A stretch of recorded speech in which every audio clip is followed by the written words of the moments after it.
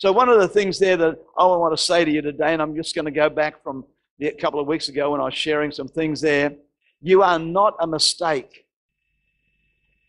One of the things that Nancy had great difficulty with because she was born out of, uh, she was adopted out and born out of wedlock and so forth like that. And, and uh, for many, many years, Nancy wondered about her mother and wondered about this and wondered about that. And, and, and she felt that she was a mistake. That something, you know, just some kids. And all of a sudden, Nancy evolved. But you see, she's not a mistake. She's a child of God. You're not a loser. We, we speak a lot to ourselves. We speak to our own thinking, and, but we're not losers. We're children of God. We've got a built in purpose. God has created something inside us. There's something built inside us. You might have remembered I spoke about a rose tree and how I bought a, a stick from Bunnings in a brown paper packet. And I took it home. And, and you know, if you look at that stick, it, it just looked just miserable even. It didn't look like it had any life. This, one of them didn't even have any shoots on it. But the color of the rose was what I liked, and so I thought I'll buy that and, and believe that it's going to be okay. And uh, so I put it in the ground, but in that stick was a rose. And see, inside of us, we mightn't see ourselves. We might be dry, it might be miserable, might be all this, but inside of us is a God given purpose. Inside of us is something there that, that God wants to produce. And you see, for that rose to be able to be produced, it had to be planted into a soil where it was nourished. And friend, it's time that we, the church, got planted in the house of God. Not necessarily this house, but in a house of God where, where we can flourish, where we can grow, where we can be watered, where we can be looked after. And then out of whatever God's put inside us will be produced.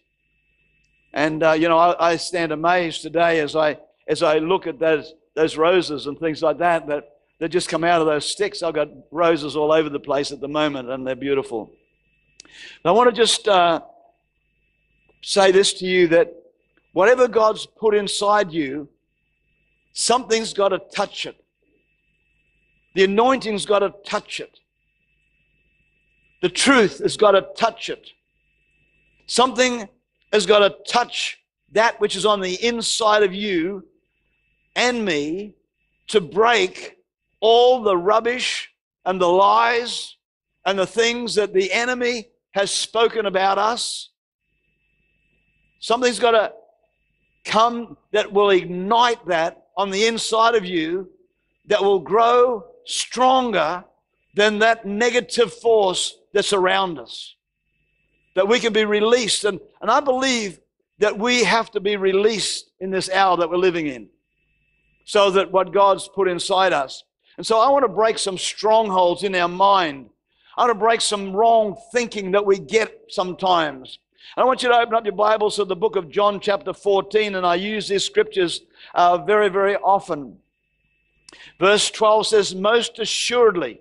In other words, he's saying, Listen, I'm not just saying this but I want you to really get it because I'm very, very serious about what I'm saying. I'm not just, it's not a fable, it's not some other theology or something like that.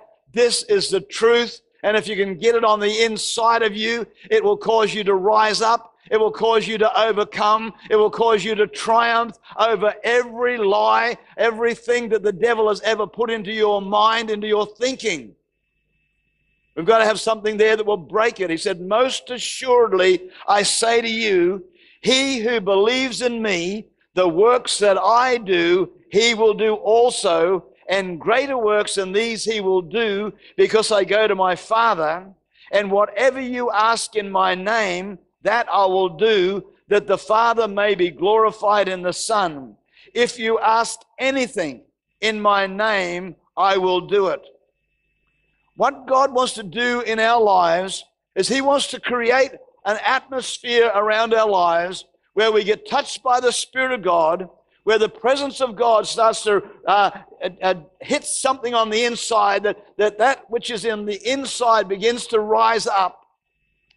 And all of a sudden, we come to God, and there's something about our lives. There's a character that's in our lives. There's something around our lives that, that begins to, uh, to, to touch God. There's honor. There's respect. It's not just a matter of walking up to God and say, God, do this. God, do that. God, do this. No, you come with honor. You come with respect. You come in, in, a, in an atmosphere of worship where you lift up your heart and you and and somehow or other God sees our heart.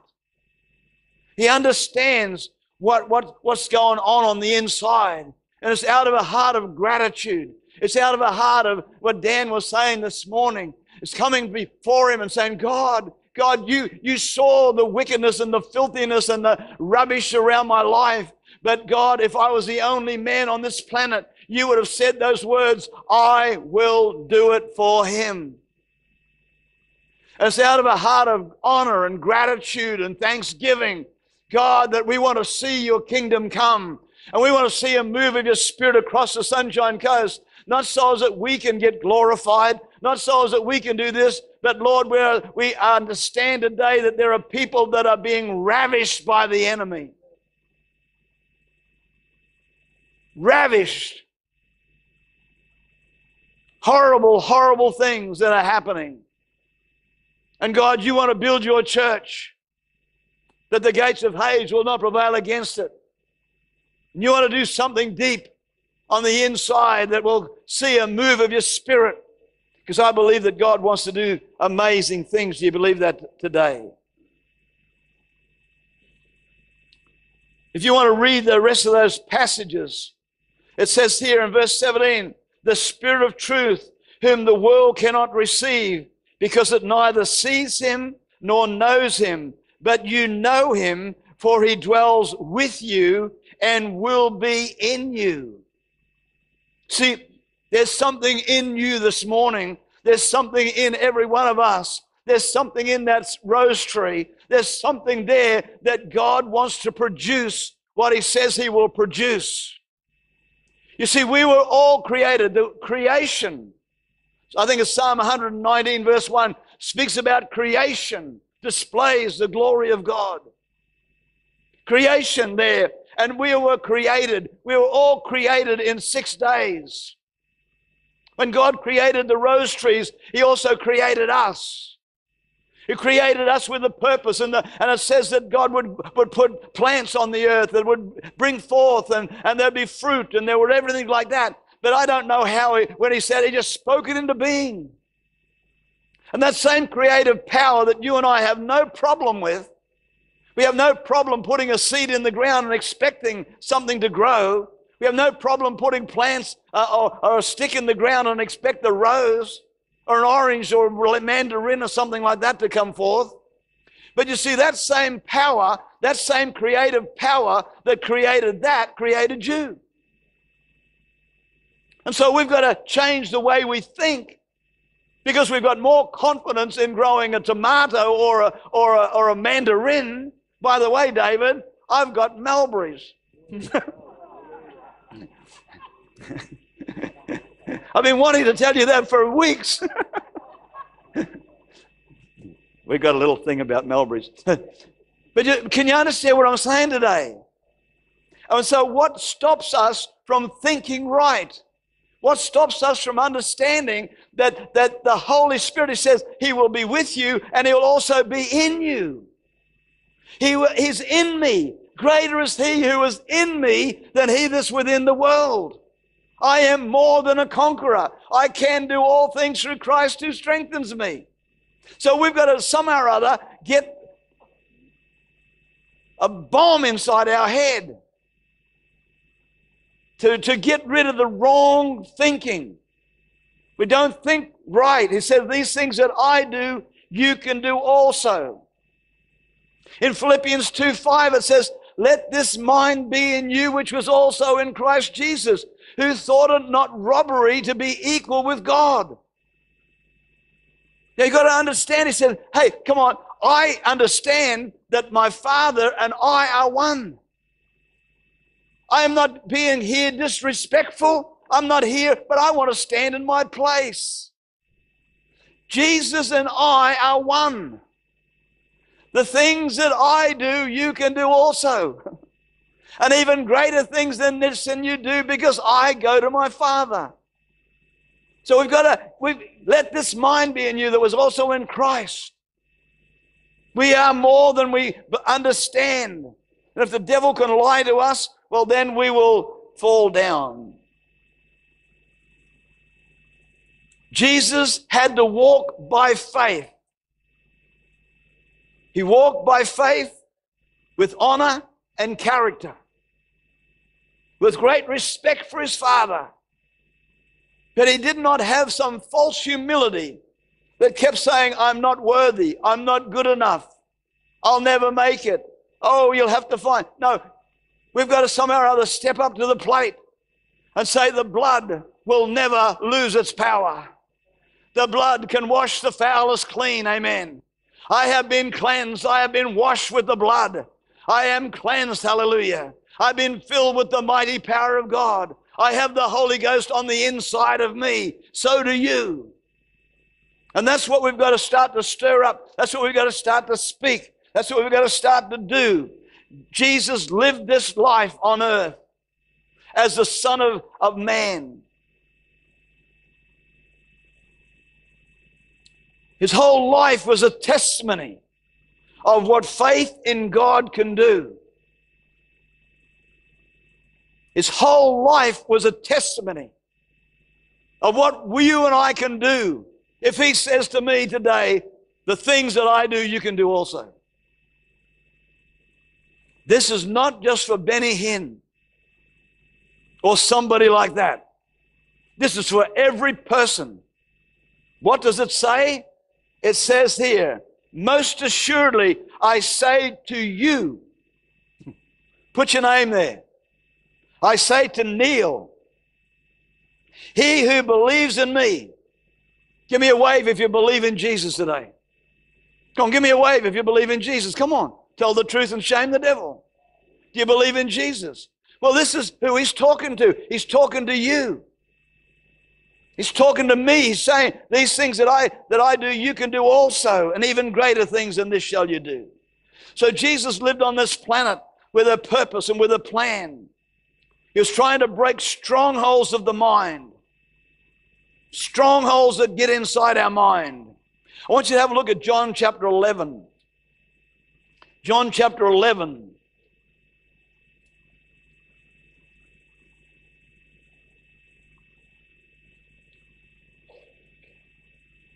Better go somewhere else first. Hmm. this, is, this is a story here of Lazarus.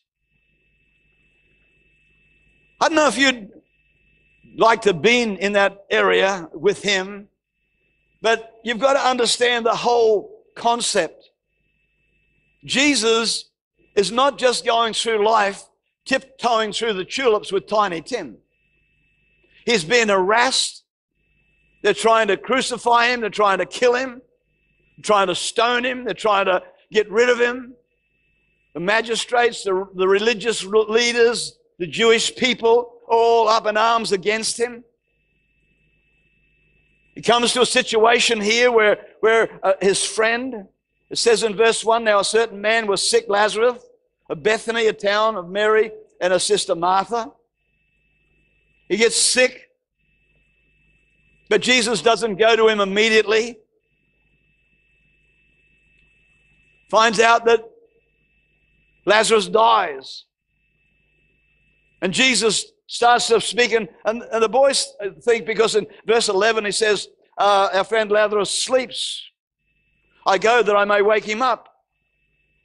in verse 12 it says, The disciple says, Lord, if he sleeps, he'll get well.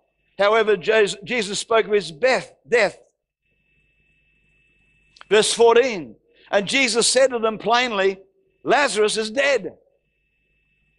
And I'm glad for your sakes that I was not there, that you may believe. Nevertheless, let us go to him. What he was saying here, I, I want an opportunity to reveal what faith in God can do. We go to meetings and we see people getting healed and, and we see miracles, and what it does, it, it explodes your faith. Start seeing things. Friend, if we take the Spirit of God out, we take the anointing out, if we take healings out, if we take all that out, what you take out is your faith. And faith begins to die. But when you start to see the Spirit of God moving and the presence of God touching people's lives, as Jesus said, I am glad for your sake. I'm glad for your sake because you're going to see something that's going to break every stronghold in your thinking. Nevertheless, let us go. Now, I want you to understand what he was speaking into. Then Thomas, who is called the twin, said to his fellow disciples, Let us go that we may die with him.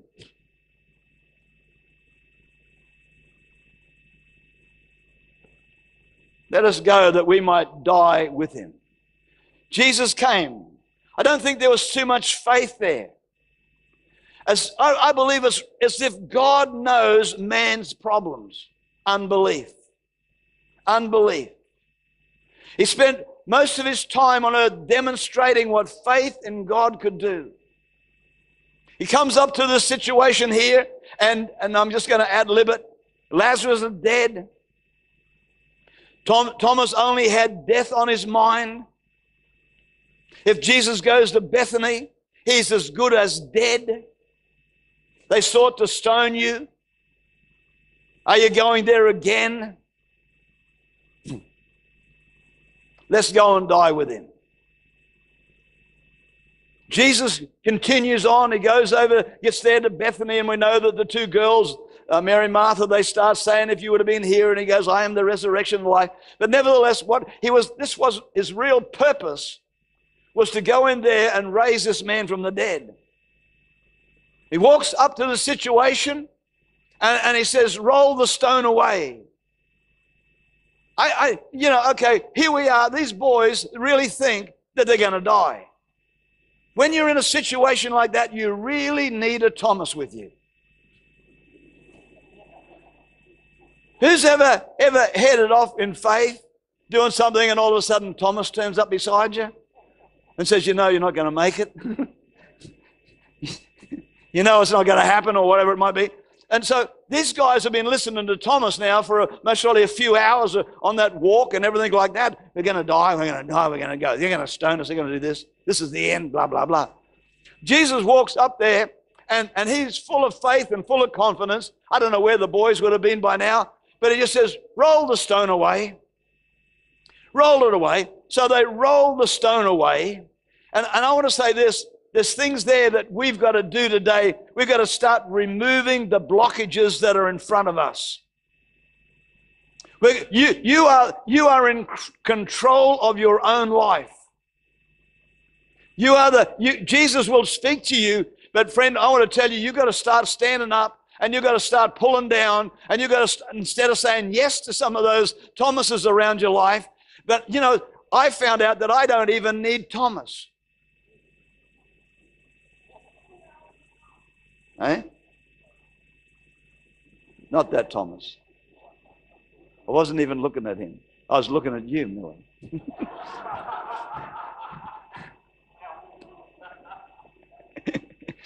I don't, I don't need a Thomas in my life because I, I can do it myself. But you see, I also am the one that has to remove the blockages from my thinking. I got to start speaking to myself differently. I got to start of doing that. I got to listen to what Jesus says and I got to start believing what Jesus says. And Jesus there, when and Martha came up and said, You can't roll the stone away by now. He's been, he's been in there four days, he stinks. But nevertheless, the stone was rolled away, and Jesus cried out to this man and commanded him to come out. He come out bound. And then he spoke to, the, to his disciples and he said, You loose him. I'm very interested in this because there's quite a few stories. I'm just going to share some small stories this morning. And most of those stories, Jesus doesn't actually do the whole lot. He does portion of it, but then he says, now you loose him. You loose him. You set him free. And I believe it's time for the church because I believe that God's got a lot for us to do. I believe that God wants us to move. He was dead, but Jesus started to move and touch his life. In John chapter 2, verse 1, Jesus turns water into wine. I'm not going to read all the story because, uh, uh, for time's sake, but you can read the story. I think we all know it. But you see, Peter, Philip, and Nathaniel were there and they filled the water pots with water. Mary said something to the boys that were very, very interesting. Because when she said there's no wine left, Jesus said, What have I got to do with that? It's not my time. What have I got to do with that? But Mary turned around to the boys and says, Whatever he says to you, do it.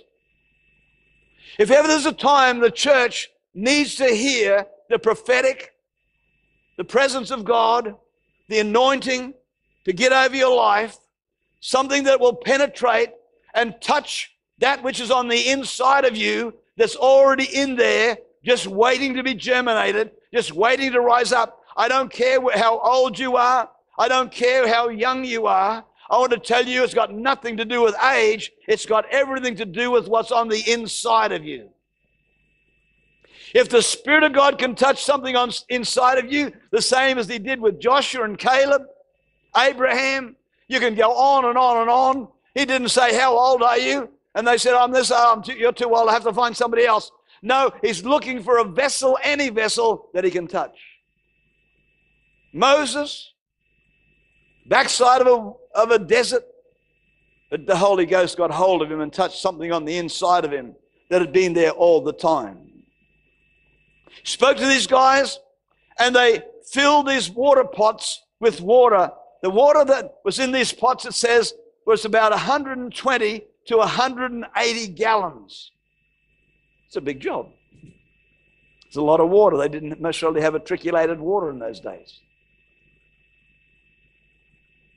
Then he said this You draw the water. You Go out and give it to the master of the feast. But Jesus, we know what we put in there. Neil, you go into all the world and preach the gospel. But Jesus, I know what's in here. I know the weakness. I know the failures. I know the things that I've done wrong. I know because the devil keeps reminding me. I know the weaknesses. I know the failures. I know, I know, I know. And you're asking me to do that. See, the boys, they said, I know what we put into the pot. It was water. And now you want me to take some of this water out of the pot and take it over to the, the master of the feast? And when he gets that water, he's what's he going to do? You see, we can say, well, the, water, the, the wine, it turned into wine immediately, it went into the pot. We can say it went here as they took it. It could have said as the as the, the master of the feast took it and it was still water, but when he put it to his lips, it became wine. I don't care when it happened. All I'm interested in is that it happened. I'm not going to have an argument with you. I don't care. But it happened, amen. But the thing is this that he said to them, You draw out of the pot, you take it to the master of the feast. I've done my bit. You catching what I'm saying? I've done my bit. Now you go into all the world. Now you do this. See, when we pray, we pray, God, you do this. Jesus, you. No, he says, no, you. You take the water out. You, you take it out and you, you do it. You draw some out and take it to the master. Amazed I believe that the disciples would have, would have been so amazed See, Jesus was wanting to break mindsets, natural thinking, to a whole new way of living. How many people want to go into a whole new way of living? Jesus wants to break those mindsets, wanting to do things. You see, when, when we start to see things that happen, and I know, you know, we can talk about the pineapple shed and we can talk about things there that we saw happen in the in, in that even in the the other place, the, the school building, what was that? The gatehouse. Miracles and and people were just being touched. I've told the story a lot of times about Chaz and Fran. And Chaz was there, but he just saw uh, this guy stand up the front, an uneducated guy talking about Noah, the floods, and he was an educated man, and and, and he, he, he was, you know, all this and that, and he was sitting back there with his arms folded saying, This idiot believes this. Until the power of God came in, till the anointing come in. And I had a word of knowledge, and it was about five or six things. And Fran looked at, at Chaz and said, That's me. I sitting right at the back of the hall. Somehow or other, she got up and walked up. The, the power of God hit her. She got slain in the spirit. She started yelling and screaming and carrying on. Chaz got such a shock to see his wife out the front there. She had a most probably a hundred dollar hairdo. Now looked like a she looked like the wreck of the Hesperus. a mascara was running all over the place, and there was things that were running that shouldn't run.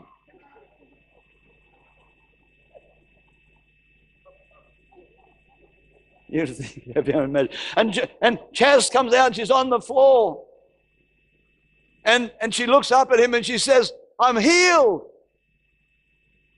Crying her eyes out, I'm healed. I'm healed. The pain's gone. I'm healed. And Chaz looked at me and I looked at him and I said, Do you want to, you want what she's got? She said, he said, Yes. And, and the, both of them gave their lives to Christ. And he went home and he started working with the people, the full gospel businessmen, and praise God, you know the rest of the story. What I'm talking about, friend, is that Jesus wants to show a demonstration. And I was just as amazed as anybody else at what God could do and what God was doing. Just keep this thought in your mind. Mary said to them, Whatever he says to you, do it. So I was saying with this building, if this is God, we'll have it. But if it's not, I don't want it. But if He says it, we'll go for it. We'll go for it. We'll do whatever we can. We know in Luke chapter 5, verse 1, the story of, of some fishermen. They were washing their nets. And as they're washing their nets, Jesus walks by with a great crowd of people. He says to the boys, He says, Boys, can I, can I borrow your boat? And he washes out a little bit and he, and he preaches to the, to the great crowd. When he comes back from the crowd, uh, he walks up to the fishermen that had just finished putting their nets up and he spoke to them. He said, Did you catch any fish? They said, No, we've toiled all night and caught nothing. And then he spoke to them and he said to them, Put down your nets for a catch. Now, I don't know where they, I'm a fisherman.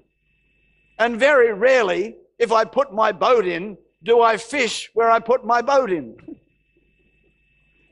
I usually down the river, miles down the river, and you surely go past a hundred fish. But but obviously it was too easy. Man, we've been up the river, we've been here, we've been everywhere, caught nothing. And by the way, what is your trade? I'm a carpenter. well, what do you know about fish? I know nothing about carpentering, perhaps they would have said. And now you're here, we've fished all night. But can you imagine what he was trying to do was break mindsets? You can put your net down wherever I tell you. And if I tell you to put your net down there, you are going to catch fish. To their amazement, I believe it would have been as they saw the nets beginning to break. That's where their logic, words must yield to the greater. Must yield to the greater. A couple of weeks ago, you might remember, I went to a conference. And I'm only going to say this for one reason because I just want to show you something that somehow or other you've got to be able to. It's not a matter of just sitting around. We've, we've got to somehow or other get in there and do some things that will break things. Certain actions break things. We went to this conference wasn't many people there, but there was, it was a, I, I really liked the pastor and his wife. Didn't really know them all that well. But I got up there and I preached one night and, and, uh, and they took up an offering. And they brought the offering to me in, a, in, a, in an envelope. And they handed it to me. And I said, Thank you very, very much. Appreciate that. And then I took the, the, the wife who had given me the money I, I grabbed her by the arm and I said, Excuse me, I want to give this to you.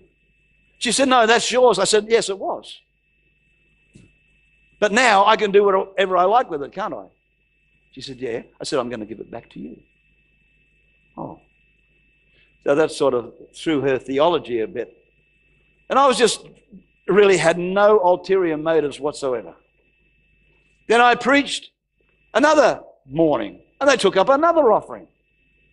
And this one was bigger. Could feel it in the envelope. and she came up and she said, Now this is yours. I said, Thank you. It is mine. Now it's yours.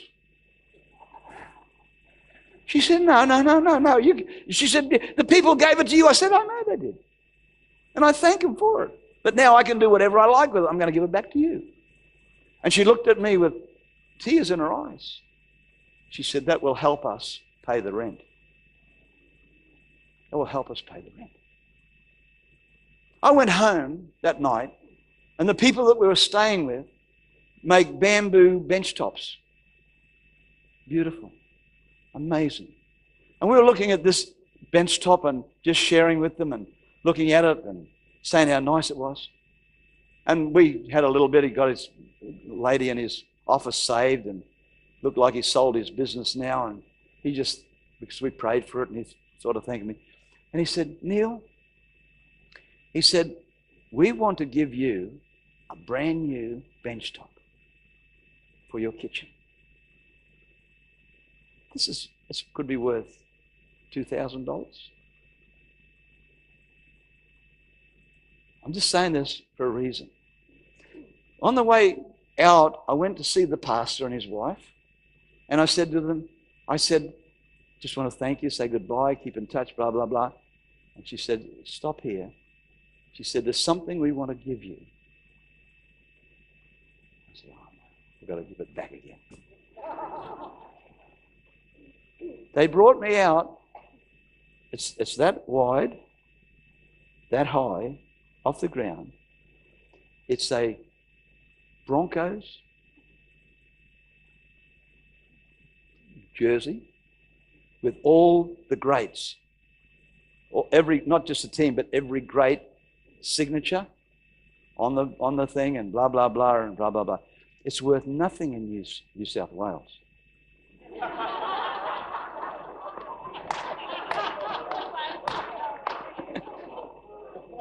But here it is priceless. Priceless. And I said to the said to them, I might get a bit emotional. I said, please, I can't, cannot accept this. I cannot accept this. She said, Neil, last night somebody came and gave us $10,000. Can you catch my drift here? I'm not just saying give money, but I'm saying you've got to do some things to break things. I had no idea the blessing that was going to come my way. They mostly had no blessing that there was $10,000. The kids had no idea that there was a 500 or whatever dollars, that somebody was in two rows in front of them. But somewhere along the line they've sown, somewhere along they've done something that when, when trouble comes, God's there for you. Amen. Let's pray that you catch what I'm saying. I'm going to have a, a showing.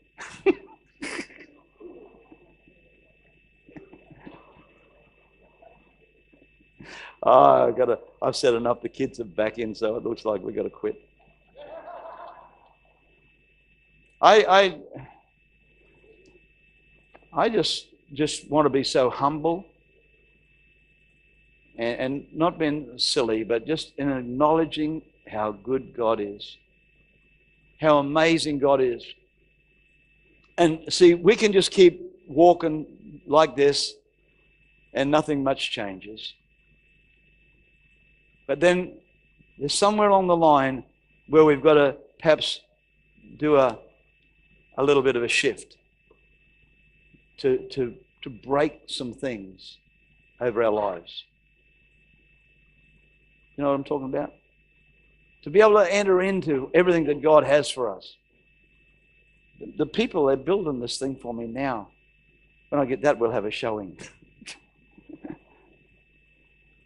but it's, it's amazing. Just letting God be God. Amen? And uh, I believe that God wants to shock us in what He can do.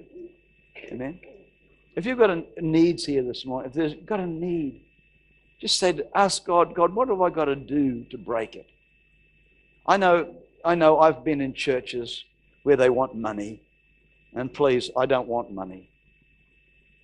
I don't want money. I'm not talking about money. But they say, you know, really, if you want to break through on money, you've got to give money. Sometimes it's not money that you've got to give that will give you a breakthrough in finance It's something totally different. It's not God, I'm not here looking for money. What I'm here is looking for people to be released. That's my heart, okay? I'm not doing this. We're not having a, a, a oh, by the way, we're going to have an offering right now. no, there's no offering, nothing. But I want you to make an offering of yourself to Him. Amen? So I don't know what he wants to do. And really, I'm not making an altar call this morning. This is the only morning I've never made an altar call for people to come out the front. I'm making an altar call for people sitting in your seat. I want all standing. Let's all stand to our feet. Why don't you just ask Jesus, what? Show me, Lord, that so I can break through, so I can break free.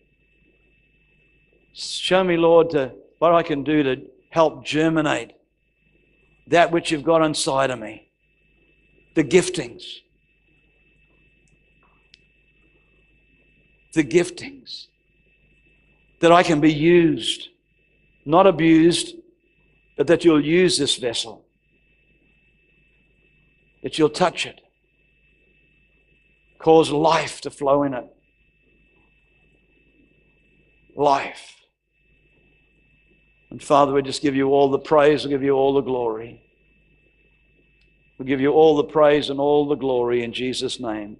And if we could sing that second last song you sang. What is it? I need you more. I often, when we sing this song, I need you more, I hear God answering me back and saying, Yes, and I need you more. We say, I need you more. He says, Yeah, okay, but I need you more. I need more of you. I wonder if in our minds and our thinking we could say, God, I just want to surrender my life to you again. I want to surrender myself to you, Lord. And whatever you say to me today, I will do it. Lord, would you speak to me? Lord, would you speak to me? Lord, would you activate, touch me on the inside, Lord, that, that I might burst, burst into like a rose tree, like that stick bursts into a, a fragrant rose. Lord, that this vessel might burst into something so beautiful, Lord, that people will be able to come around it and, and be touched and be blessed. People will find you through it. God, I, I don't want to just sit on the shelf. God, help me. Would you touch that in me today, Lord? Would you breathe on it again, Lord? Would, it, would you help it to burst into life again, Lord? God, will you help me to burst into life? Will you show me that all that you want me to do, my God? Help us, Jesus. I need you more. More than yesterday, I need you more. More than words can say, I need you more than